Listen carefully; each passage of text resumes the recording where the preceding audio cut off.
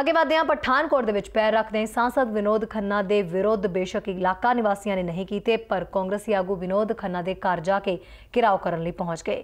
ਵਿਨੋਦ ਖੰਨਾ ਨੂੰ ਮਿਲਣ ਦੀ ਗੱਲ ਕਾਂਗਰਸੀ ਆਗੂਆਂ ਨੇ ਕਹੀ, ਪਰ ਖੰਨਾ ਨੇ ਮਿਲਣ ਤੋਂ ਸਾਫ਼ ਇਨਕਾਰ ਕਰ ਦਿੱਤਾ।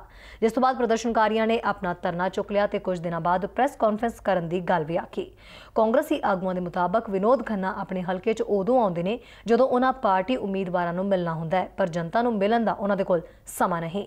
ਇਸੇ ਰੋਸ ਦੇ ਵਜੋਂ कांग्रेस ने विनोद खन्ना के घर का घेराव किया सांसद जी की पत्नी, जो पिछले दिन इलेक्शनों में झूठे मूठे ड्रामे करके लोगों से फ़ोटो खिंचवाती थी, बोलती थी, मैं हमेशा यहाँ रहूँगी, जनता के बीच में वो हमारे को वो भी नहीं दिखी।